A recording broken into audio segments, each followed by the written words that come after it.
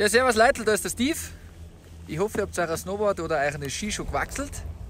Ich bin nämlich heute zum ersten Mal Skifahren, also ich bin das erste Mal unterwegs in der Saison 1920. Gerade Zachhofbohr oben, da gehen zwei, drei Lifte, also zwei Sessellifte und ein Schlepper. Es geht wirklich traumhaft. Rundherum ist ein bisschen grün, aber das macht nichts, weil die Pisten gehen ideal zum Fahren und der Schnee wird sicher auch bald kommen. Wir haben ja erst Saison.